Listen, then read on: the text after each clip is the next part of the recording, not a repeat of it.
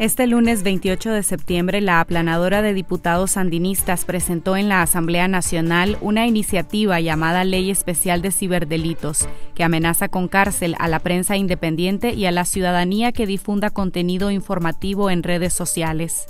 El proyecto amenaza con imponer penas de dos a cuatro años de prisión contra los periodistas o ciudadanos que difundan información falsa y o tergiversada que serán determinadas de forma discrecional por el gobierno. La ley contempla el castigo de 3 a 5 años de cárcel a quien use tecnologías de la información para ensalzar el crimen o enaltecer a su autor. Además, se busca criminalizar a las fuentes que filtran información pública a periodistas y medios, con el artículo 25, que indica que quien transfiere información pública clasificada como reservada podría pagar con una pena de 5 a 8 años de prisión. Esta es la tercera ley que incluye graves amenazas y hostigamiento hacia la ciudadanía opositora en las últimas semanas, después de que el régimen anunció la ley para establecer la pena de cadena perpetua, supuestamente para castigar los crímenes de odio, que el presidente Daniel Ortega equiparó con las protestas contra el gobierno a partir de 2018.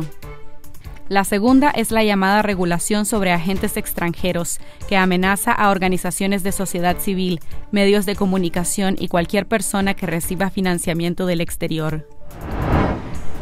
Organizaciones defensoras de derechos humanos denunciaron este domingo que el ejército de Nicaragua detuvo a 18 personas indígenas y afrodescendientes pertenecientes al gobierno territorial Rama Criol, incluyendo a autoridades del territorio, guardabosques y comunitarios. El hecho ocurrió en la comunidad Nueva Quesada, municipio de El Castillo de Río San Juan.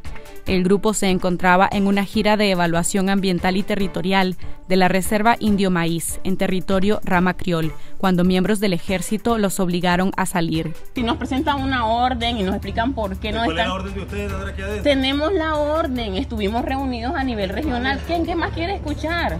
¿Qué más quiere escuchar? Tienen que respetar. Teodoro Macrea Williams, presidente del gobierno territorial Rama Criol, fue detenido arbitrariamente y liberado hasta el día siguiente, mientras que el resto de miembros estuvieron detenidos por varias horas y luego fueron vigilados y rodeados por miembros del ejército.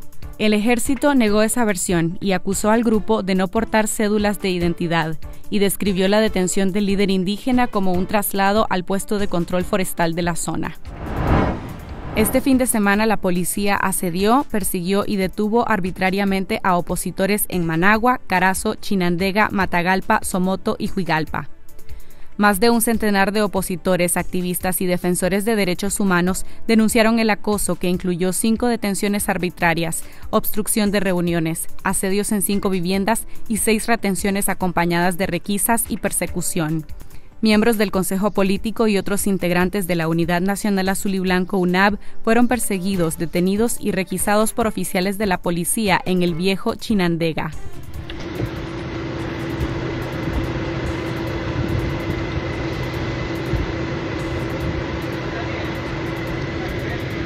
¿Qué tiene su cédula?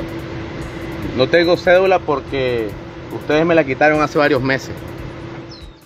Juan Sebastián Chamorro, director de la Alianza Cívica y vecino de Intermeso del Bosque, fue detenido en un retén policial cerca de su casa en Managua. Mientras el empresario y activista José Dolores Blandino y su esposa Yoconda Artola fueron asediados en su domicilio por una patrulla policial que les impuso casa por cárcel. Me dice el motivo por qué no puedo salir de mi casa.